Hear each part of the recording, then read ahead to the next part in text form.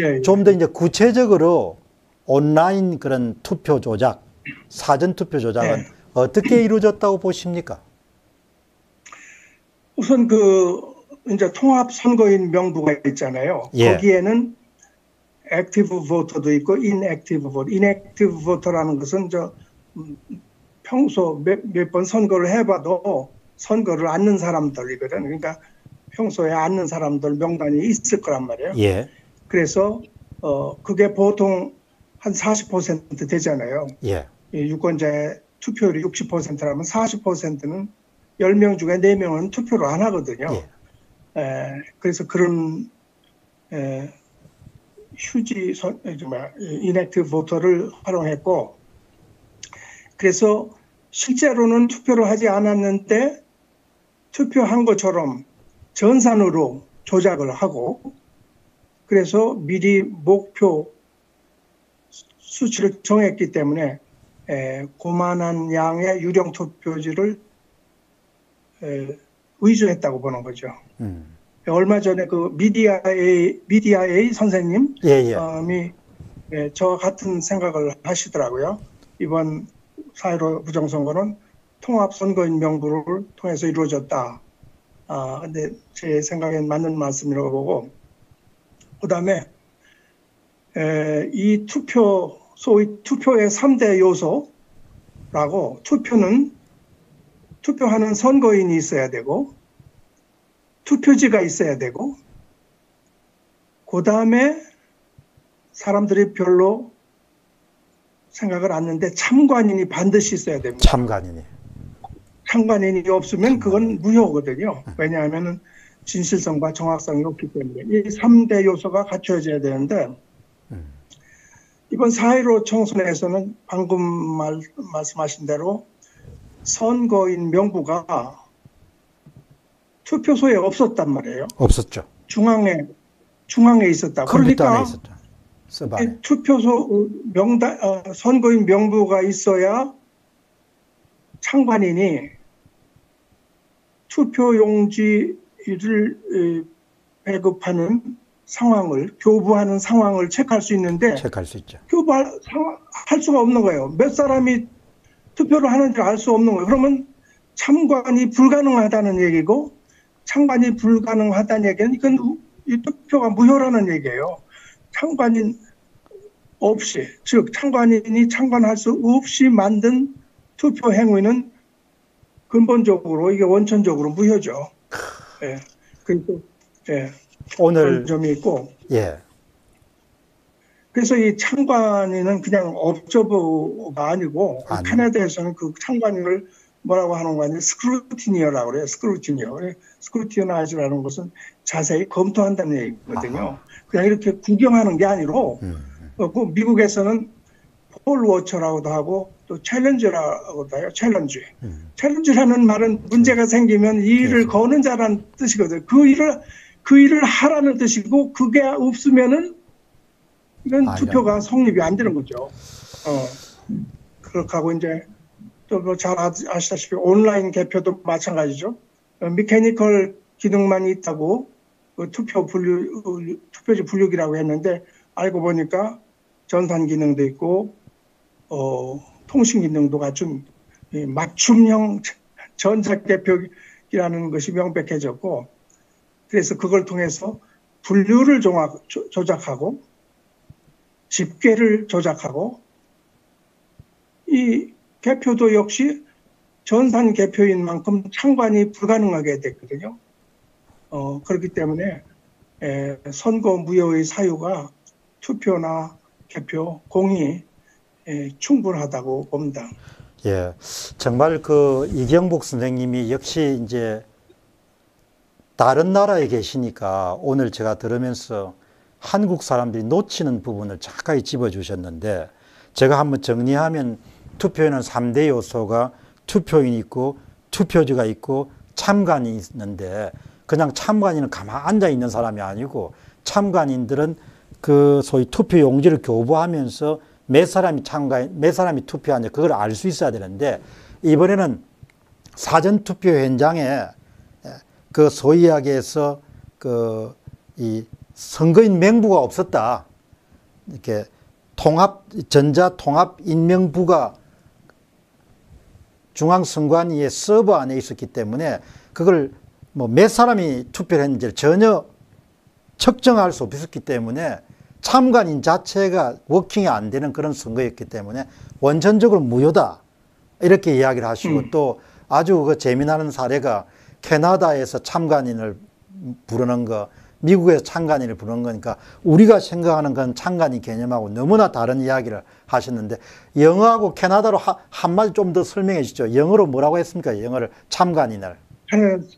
scrutinizer, scru-, scru-, scrutiny, scrutineer, scrutinize라는 말이 이제 이렇게 자세히 검증한다는 얘기죠. 예. 그러니까 그거 하는 사람은 scru- scrutineer.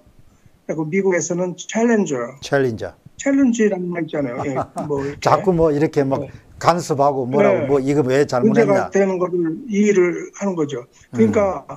우리 다른 데서도 우리 하- 우리 용어에서 이 미스테이크 하게끔 그런 게 많아요. 예. 이것도 한 아까 말씀드렸듯이 그 선거관리위원회라니까 뭐 아무 무의식적으로 받아들였는데 저는 딱 이게 매니지먼트가 아니거든요. 아니죠. 이것은 이 컨덕트지. 예.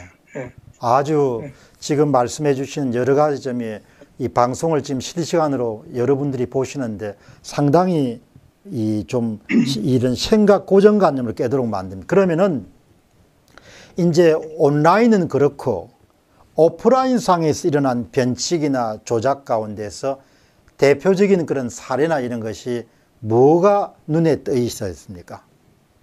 오프라인에서. 뭐, 뭐, 뭐, 그야말로 차고 넘치는데, 에, 제가 볼 적에는 그, 어, 배송 보관 과정, 이걸 chain of custody라고 해요. Chain of custody. 그러니까 투표지, 그러니까 저, 특히 관내 투표일 경우에 그 투표지가, 어, 개표장까지 오는 그 과정, 그 chain of custody라는데, 이제 우체국, 우편 집중국, 그리고 투표함 보관소, 그리고 개표소 이렇게 가지 않습니까? 예. 근데 여기서 어, 이, 이 참관인이 다 따라갈 수는 없어요, 그죠? 현실적으로. 그러나 CCTV가 있어야 되거든요. 그 참관인이 없는 대신에. 대신에. 근데 우정 에, 사전투표 보관소에만 CCTV가 없다고 돼 있잖아요. 예. 이- 이건 이것도 무효 사유예요. 충분 조건이에요. 예. 그래서 에, 에, 실제 일어난 현상 파악한 것도 관내 사전 투표지가 파쇄된 것이 발견된 적이 있고 또 이 개표하다 보니까 마치 한국은행에서 갓 나온 신권 집회처럼 예, 빳빳하고 접히지 않은 게 나오고 그랬잖아요. 예. 근데 원래 투표지는 접어서 넣도록 규정돼 있지 않습니까? 고- 공직선거법. 제가 보니까 158조 사항이더라고요. 접게 돼 있습니다. 아. 접지 않으면 안 되게 돼 있어요. 158조 사. 의무조항이에요. 예. 158조 사항에만 아. 접지 않고 그냥 넣을 수 있다고 그러는데 그건 무효입니다. 접지 않았기 때문에 의무조항입니다. 그렇게 하고 에, 또 투표 현장에서 이 사전 투표는 그 프린터가 출력해서 나오는데 에, 출력한 투표지가 아니라 어디선가 인쇄된 에, 투표지가 나왔다는 거. 그래서 유권자 수보다 투표지가 많다는 그 넌센스 어, 이런 것이 이 오프라인 변칙이고 또 하나 아, 지적하고 싶은 것은 이 많은 사람들이 이 얘기를 않더라고요. 에, 사전 투표지 개표를 당일 투표지 개표 이후에 했거든요. 그럼요. 그렇죠. 예. 음. 그런데 이 공직선거법 176조 3, 3항에 보면은 에, 사전 사전 투표지는 먼저 할 수 있다고 돼 있어요. 167조 먼저 3항에 할 10 176조 3항 보세요. 아, 어, 할수 있다고 되어 있는데, 그러니까 이제 먼저 해야 된다가 아니고 먼저 할 수 있다고 되어 있어요. 요할수 있다는 것은 법 조항, 법 조문은 할 수 있다. 이제 이 영어에서도 may라는 음, 용어로 쓰이거든요. 그왜 하라는 게 아니고 할 수 있다고 되어 있을까? 그러니까 뭐 하지 않아도 된다는 뜻 아닌가? 그렇지 않죠. 그건 무슨 말이냐면 해야 하는데 해야 하는데 특수한 사정이 생기면은 예외적으로. 하지 않을 수도 있다는 그러니까 의무와 요건을 완화하는 조건입니다. 음, 특수 그러 그렇기 때문에 특수한 사정이 없으면은 그렇게 하라는 뜻이거든요. 그러니까 예를 들어서 어 하- 한국의 전 음, 전국적으로 뭐 몇 개 200몇 지역인데 지역구마다 사정이 특수한 사정이 있을 수가 있어요. 있죠. 그런 때는 거기서는 사전 투표 개표를 늦게 할 수 있어요. 그런데 이번 경우에는 전국적으로 획일적으로 다. 일대일 음. 뒤에 했잖아요. 예. 아니 먼저 선거한 것을 먼저 계산하는 게 일반 상식 아닙니까? 상식이죠. 미리 해- 미리 한 거니까 지금 방금 한 거보다 그런 편의상으로도 그렇고 이법 조항에도 그렇게 돼 있는데 일제히 무슨 특별한 고의성이 없어서는 그게 안 되거든요. 맞습니다. 그래서 이게 전체적으로 보면은 희대 희대의 체계적인 사기 조작이었다고 어, 단언할 수 있어요.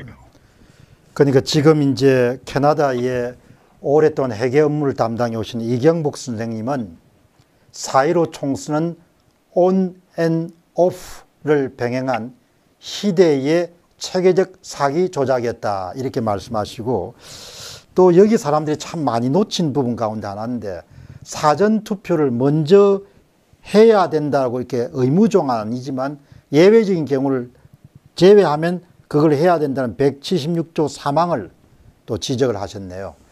어쨌든 우리가 놓친 부분이 많은데 그러면은 이제 이 시대의 체계적 사